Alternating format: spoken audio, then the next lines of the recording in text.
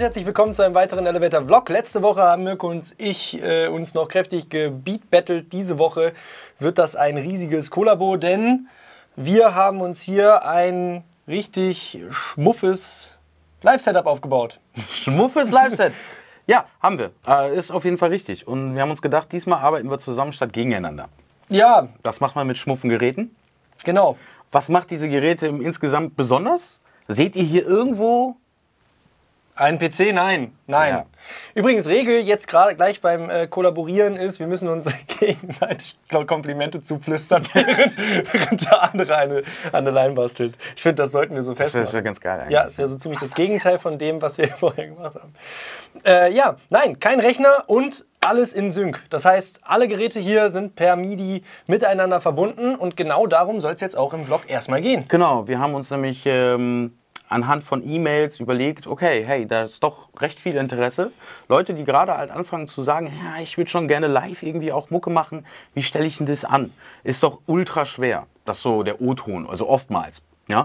Und haben uns gedacht, nee, dann bauen wir doch mal so ein Setup auf. Und wie ihr seht, sind das schon ein paar äh, schöne Geräte. Und äh, erklären euch, wie man die untereinander verknüpft und äh, wie die auch alle vor allen Dingen das gleiche Zeitsignal quasi kriegen. Ganz genau. Da geht es nämlich um die sogenannte Clock.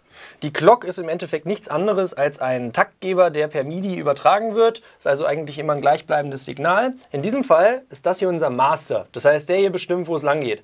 Kann man sich so ein bisschen vorstellen wie in einem Boot der Trommelschläger.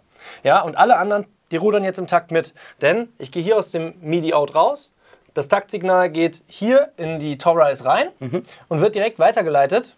Hier aus dem MIDI-Through, müsste hier auf der Seite sein, äh, und geht hier in den MIDI-In von dem JDXI. Der wiederum geht dann hier in das Chaos-Pad, Genau. sodass das alles irgendwie in Sync funktioniert.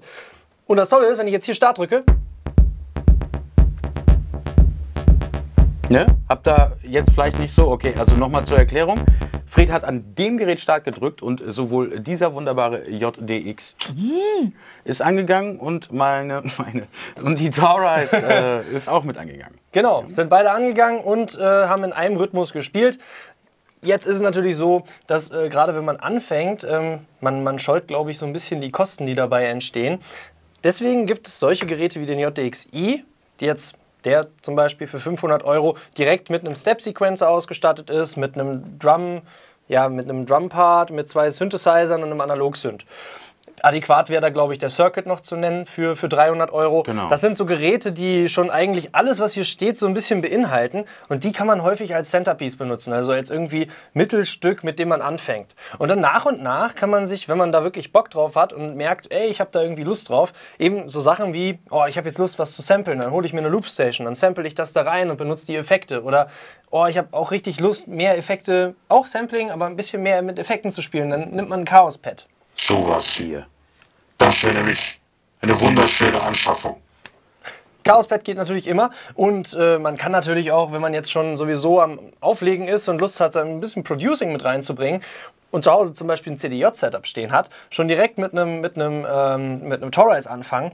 Ähm, das Ding lässt sich nämlich auch ganz einfach über einen äh, ja, Pioneer DJ Link Genau, Kabel alles verbinden miteinander und man kann das Ganze wunderbar einbauen in ein äh, Live-Setup mit den CDJs, wie Fred das gerade schon gesagt hat. Dazu später, nicht später, ein andermal nochmal mehr. Aber äh, wie du das alles schon wunderbar äh, gesagt hast, um nochmal herauszukristallisieren, man kann klein anfangen und einfach weiter ergänzen. Das kann mit der äh, Kork Volker Serie anfangen, ja? die kleinen Geräte. Wenn man da die, äh, den Sampler oder die Cake-Variante nimmt, kann man die wunderbar untereinander äh, benutzen. Aber das heißt ja nichts. Es sind ja keine Limitierungen gesetzt. Das heißt, ich kann erst mal mit der Drum Machine anfangen oder einem ähnlichen Gerät, ein Step Sequencer und dann weiter kleine Geräte hinzukaufen.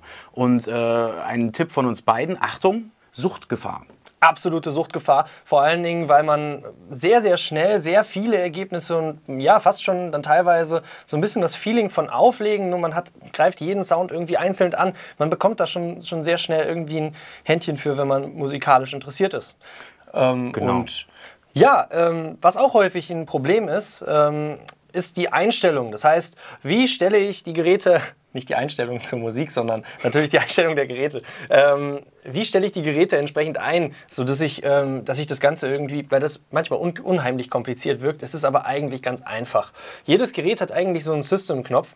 Hier ist der hier unter Menü, steht hier System. Ja, dann drücke ich hier auf Enter. Dann kann ich hier so durchcursern. Oh, das ist nochmal in die Richtung. Jetzt habe ich was umgestellt, schon wieder. Zack, so. Da, da, hier wäre jetzt meine MIDI-Source. Also wenn ich hier so durchschalte, kommt irgendwann der Punkt MIDI. Und dann stehen hier ganz viele komische Sachen.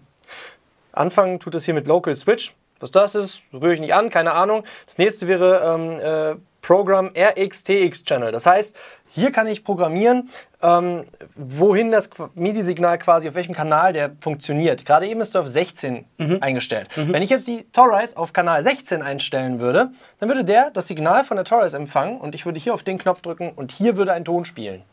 Das heißt, das hier, wenn man jetzt nicht möchte, dass man mit einem externen Gerät das hier steuert, dann stellt man einfach den RxTX-Channel auf einen Channel, auf dem halt nichts anderes ist. Ja, in dem Fall 16. Dann gehe ich weiter, Edit Data. Ich möchte mit diesem Gerät hier keine anderen Geräte quasi ähm, äh, bearbeiten. Deswegen TX, das heißt immer, da sende ich was hin, ähm, äh, stelle ich hier auf Off. Denn ich möchte ein- einfach hiermit keine anderen Geräte irgendwie beeinflussen.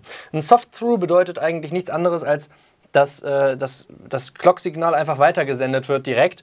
Und Soft deswegen wahrscheinlich, weil, ähm, äh, weil quasi Das Kabel weich ist. Ganz genau. Dein Kabel ist auch weich.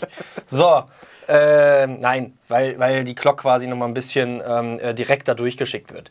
Und dann haben wir den Sync-Modus, der ist in dem Fall auf Slave gesetzt. Das ist eigentlich auch das Allerwichtigste.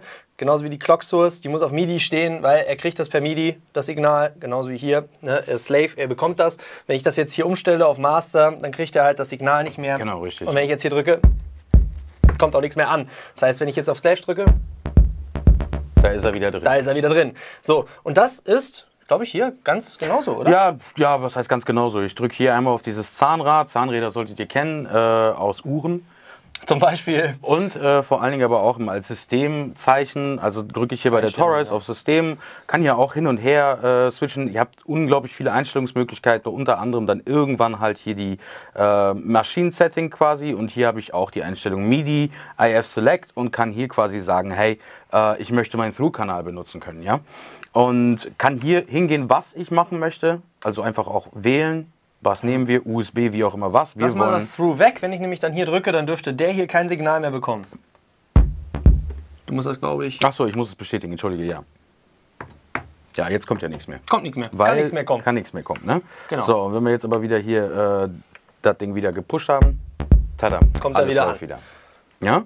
Also, das ist einfach nur ein Signalweg und die Einstellung davon, man muss einfach nur festlegen, hey, wer hat das, wie du das schon wunderbar erklärt hattest mit dem Trommler, wer hat das Sagen, den legt ihr als Master fest, alle anderen werden dann quasi als Slave äh, programmiert und müssen das tun, was der Trommler sagt. Und das haben wir jetzt quasi pro Gerät überall eingestellt. Und ähm, wenn man, ich möchte das jetzt mal so sagen, wenn man nicht so ganz so faul ist und auch mal Lust hat, eine Gebrauchsanweisung zu lesen. Ne? Es gibt auch sehr lustig geschriebene. Ja. Ich glaube, Novation hatte mal eine richtig, richtig und, lustige. und Mackie hat, glaube ich, auch eine. Mackie hat auch lustige. lustige. Genau, Äh, genau. und die einfach mal durchlesen. Und ihr werdet immer irgendwo finden MIDI-Functions. Und wenn ihr nicht wirklich nicht wisst, okay, wie komme ich da hin und da keinen Bock drauf habt, irgendwie rum zu experimentieren, dann liest dieses Kapitel durch. Da steht haargenau drin beschrieben, wie ihr zu diesem MIDI-Setup kommt und wie ihr das dann quasi einstellen müsst, damit das Gerät Daten sendet oder empfängt. Ja, ganz genau. Vielleicht noch ein Tipp, Mhm. ein Tipp noch.